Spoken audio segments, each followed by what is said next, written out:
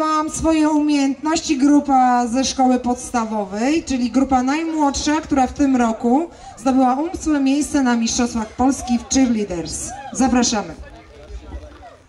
Keep it together,